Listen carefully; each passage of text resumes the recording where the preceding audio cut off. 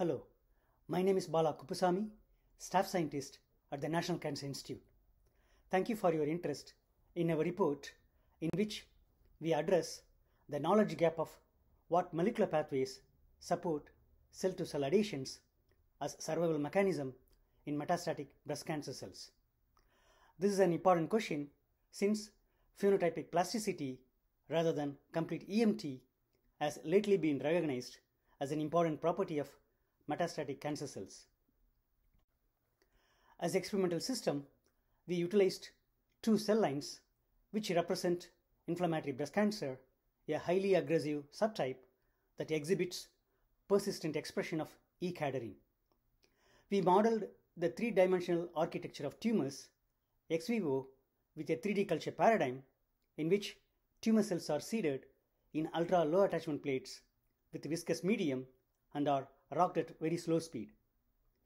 These conditions promote cell to cell adhesion, leading to large, compact, E-cadherin expressing cell clusters.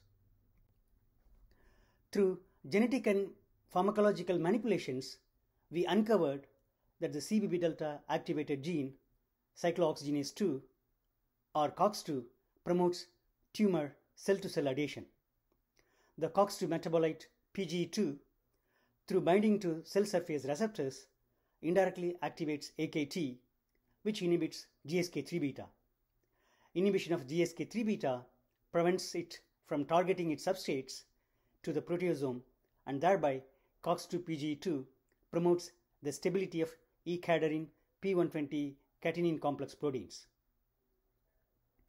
The resulting increase in tumor cell-to-cell adhesion enhances clustering and cell survival, which our work implicates in the promotion of metastasis.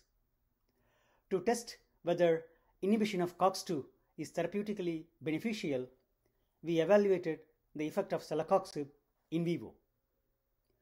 When mice with established primary tumors of SUM149 cells were treated for 7 days with celecoxib, the expression of E-cadherin complex proteins was significantly reduced and tumor growth and the number of CTC clusters were attenuated. In agreement with previous reports, celecoxib induced the mRNA levels of the E-cadherin gene CDH1, leading to the important conclusion that regulation of E-cadherin mRNA and protein expression can be disconnected and that stabilization of the E-cadherin protein can mask the significance of low mRNA levels.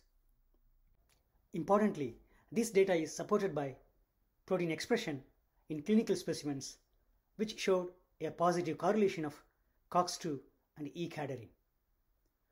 Our subsequent analysis indicates that high expression of both proteins is associated with worse survival probability for breast cancer patients compared to expression of only one or none of these proteins. To investigate the effect of celecoxib on metastasis, we generated established experimental metastasis by tail vein injection of SUM149 GFP luciferase cells. Once mice exhibited significant bioluminescent signals in the lungs, they were assigned to four different groups and re-evaluated eight weeks later. While celecoxib alone attenuated the growth of metastases, in combination with paclitaxel, we observed a significant reduction in the established metastases. Importantly, similar data were obtained with a non-IBC PDX model demonstrating that the COX2 E-cadherin pathway is not specific to inflammatory breast cancer but can operate in other aggressive steroid hormone receptor negative epithelial breast cancers as well.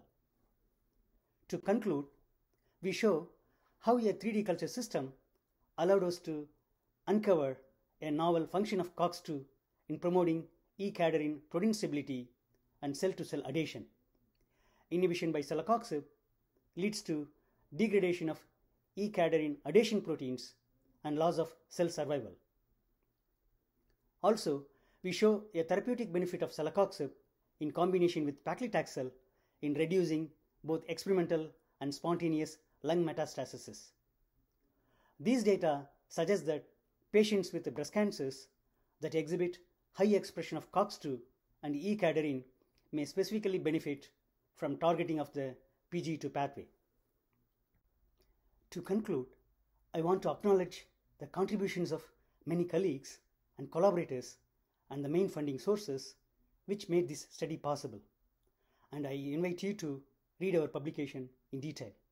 Thanks for watching this video.